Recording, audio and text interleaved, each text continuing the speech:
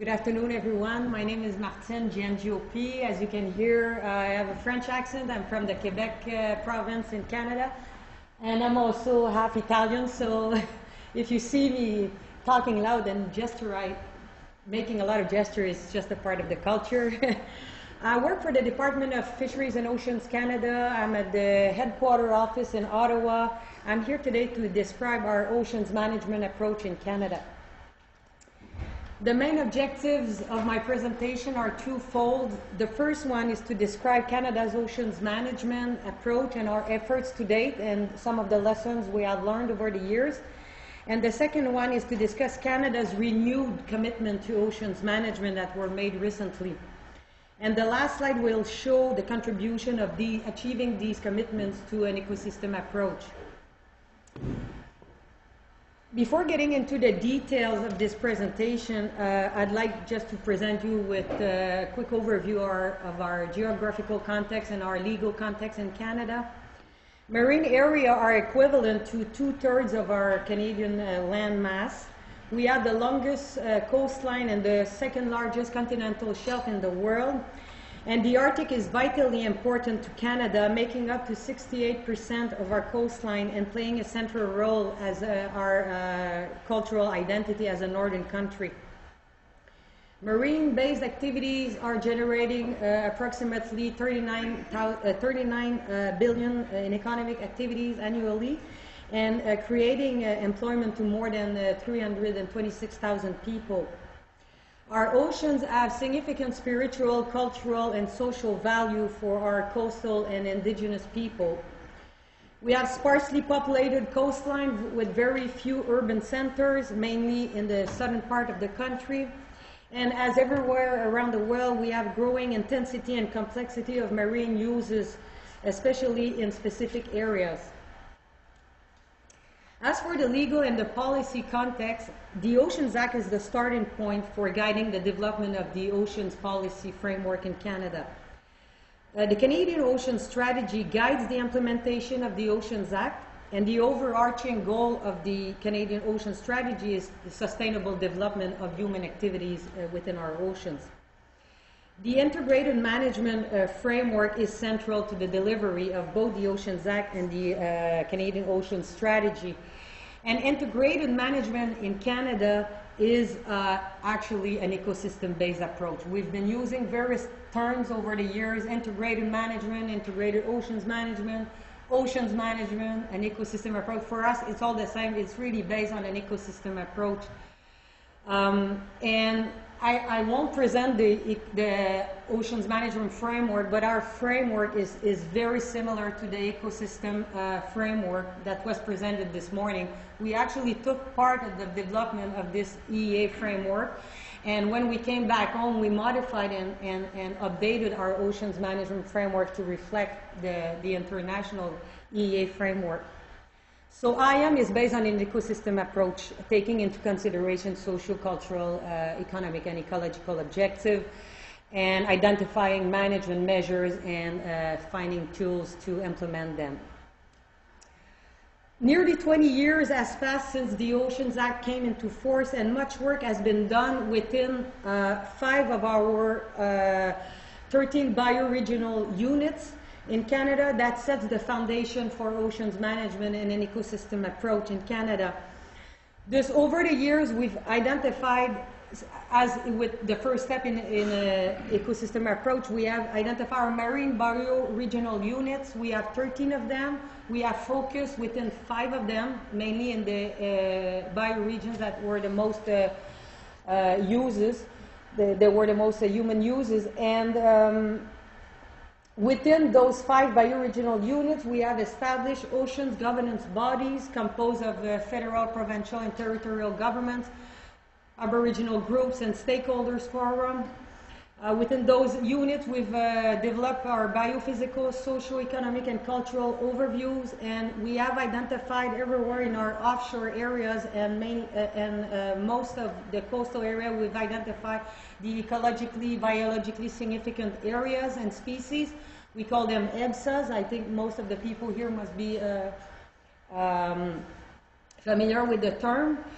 Uh, thus, we have uh, collected the baseline data and conducted some uh, human use activities. We've mapped out those activities, and uh, with all this information, we uh, developed five oceans management plans in those five uh, areas, within which uh, we have identified the, the ecosystem objectives with our partners and stakeholders, and uh, we have identified all those EBSAs and uh, identified some management measures. Some of those management measures are currently being implemented within uh, these plans, but a lot of effort remains to be done to uh, continue the implementation. Parallel to the oceans planning that I've just described, we've uh, established uh, several marine protected areas uh, in Canada. In the Arctic, we have established the Tarium uh, MPA that, among other ecosystem objectives, is protecting uh, beluga uh, habitat and harvesting rights of, uh, of uh, Inuvialuit people, and um, we are on our way to establish a second MPA, a little bit east of, uh, of that MPA in the Beaufort Sea. And we've undertaken networks, uh, network of MPAs everywhere in Canada as, as well. Um, our two decades of experience with oceans management have taught us great lessons. I'd like to share just a little, a few with you today. Um, adopting a marine bioregional approach is very important um, as it sets the boundaries within which we will collect information, analyze information, and within which we can identify the key players that should be at the table uh, uh, to, uh, to move on with marine planning and management. We definitely recognize that we still need to enhance our understanding of potential impacts, especially cumulative impacts from human activities on our uh, significant areas and significant species. We have started conducting risk analysis and risk assessment of specific uh, pressures on specific components, but uh, we haven't uh, gone too far into uh, the world of integrated ecosystem uh, assessment. Uh, we recognize it is needed, but we also recognize it's complex. We need data, we need uh, ecosystem models, we need the will to work together and put all those information together and to conduct those integrated assessments. Um, we are also more and more thinking that we need to establish ecosystem thresholds for specific ecosystem or ecosystem components such as uh, vulnerable uh, species or habitat and to establish some limits for specific pressures such as uh, increased nutrient loading or uh, increased uh, noise from marine transportation we're, we're looking more and more at uh, eventually uh, establishing some thresholds uh, in key areas. Of course, uh, we are continuing our transition from a species by species based approach to moving toward an ecosystem approach to fisheries management and ultimately toward a, an ecosystem based management approach. We are in the continuum. Uh, as I, I said, with the, in the previous presentation with Iceland, we're also starting to uh, identify some specific uh, uh biomass uh, targets, and, uh, but we, we still have a lot of work to do in that field as well. And the last lesson learned I want to share, it's about marine spaces. We recognize the need to uh, define uh, spaces, spaces for conservation and also for activity development, basically uh, doing marine spatial planning, especially in high human uses area. Uh, Canada has a large marine estate, so we cannot focus and develop marine spatial plans everywhere, but we're seriously looking at uh, developing maybe some of the plan in specific areas. Uh, earlier this year, uh, renewed oceans management commitments were made by our uh, newly elected Liberal government, which will allow Canada to uh, move forward on oceans management. Uh, after nearly eight years of uh, conservative government who had different priorities, um, getting back into oceans management is really um, um, bringing a lot of enthusiasm and joy within the environment community in Canada. And these commitments were made in response to increased national and international efforts to mitigate impacts uh, from human activities on our ecosystems.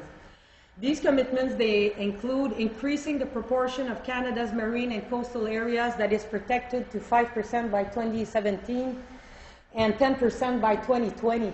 Since we currently protect more or less only 1% of our uh, coastal and ocean, we have a lot of work to do, uh, especially by 2017.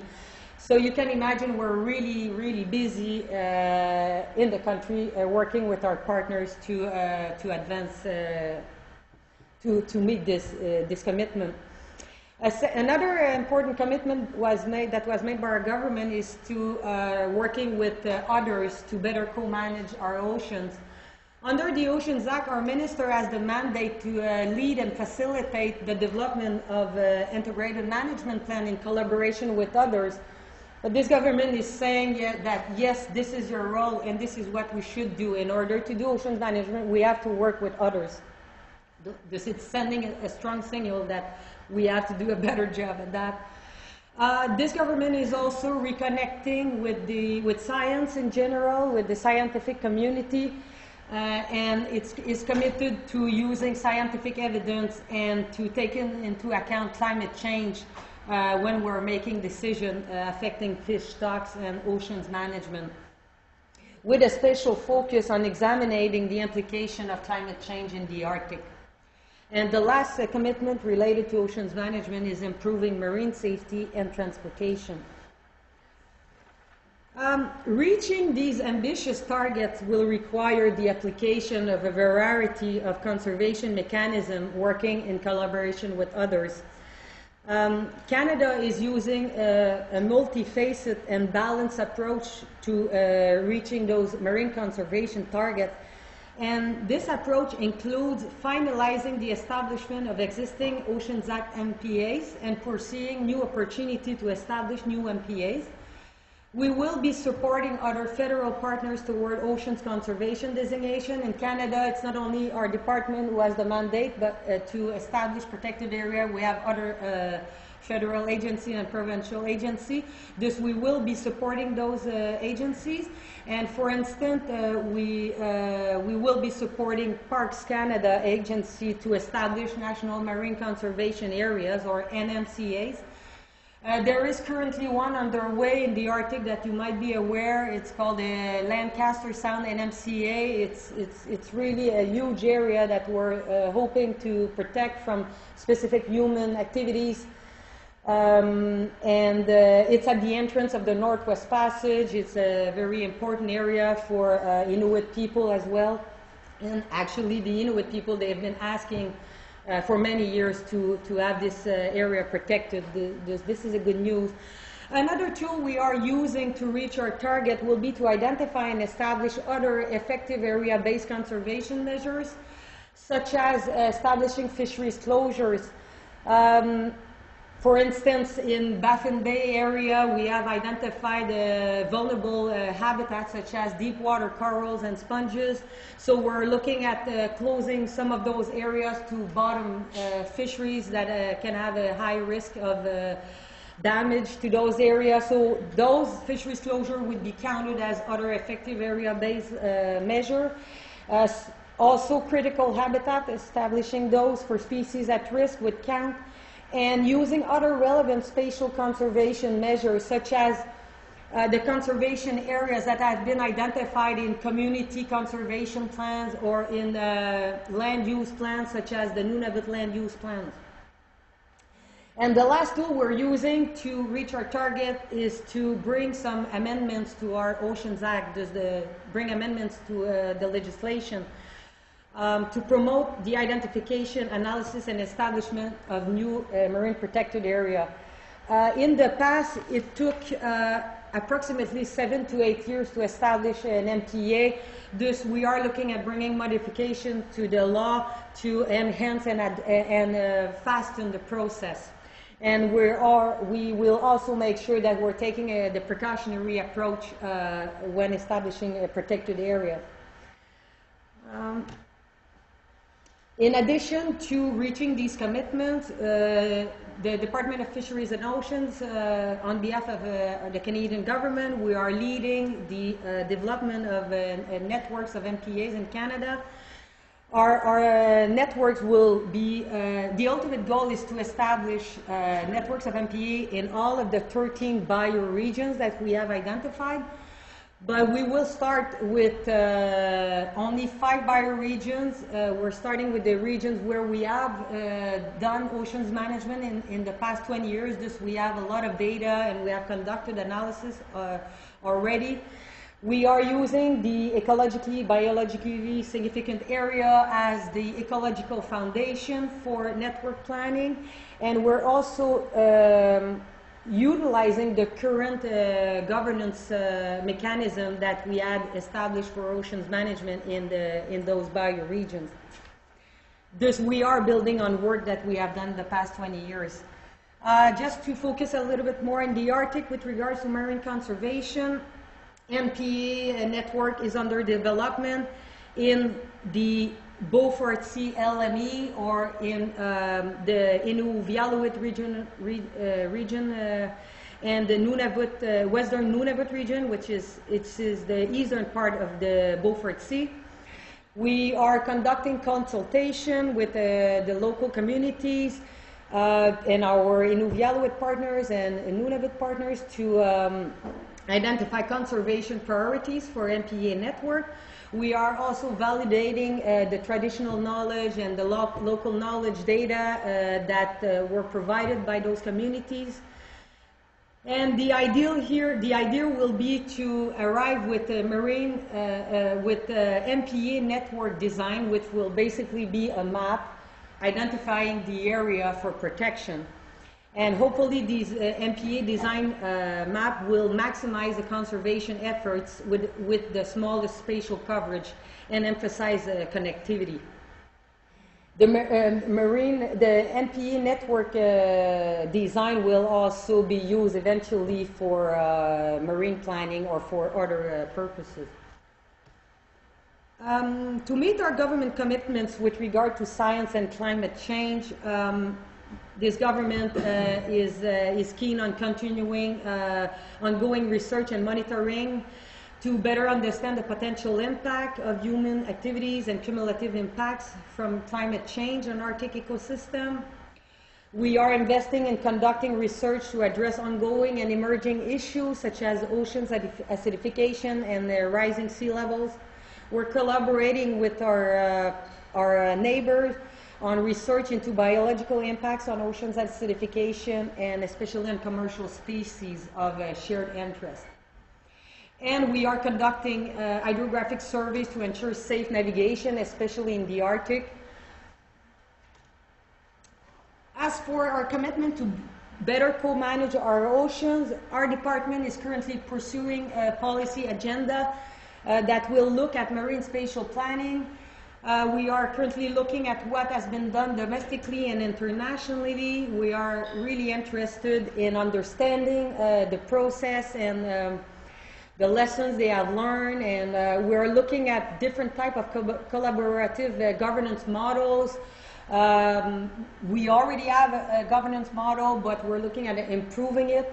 Uh, we would like to make sure that um, the partners that are at the table in doing uh, spatial planning or marine planning and even conservation uh, uh, in Canada that the partners that are at the table, they are accountable to deliver on some of the, the thing that we all wish to do together. Because without accountability, it's really hard to, uh, to implement what we wish to do. Um, and also, we're looking at enhancing the integration of, integration of traditional knowledge uh, into uh, marine planning. The last commitment I'd like to discuss with you is to uh, improving marine safety in Canada and with a focus in the Arctic. As we are all aware, the Arctic is warming rapidly and uh, each year there is less and less sea ice, therefore opening the Arctic for uh, increasing marine traffic and potential oil spill.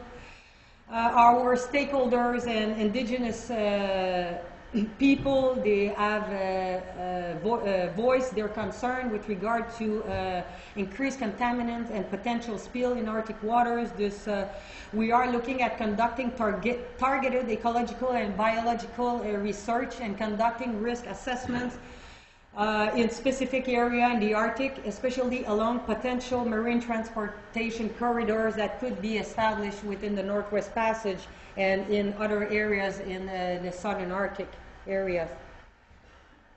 Um, the last uh, slide is to make a, uh, to try to show that how we can, how by reaching those commitments we will uh, contribute to advancing an ecosystem approach.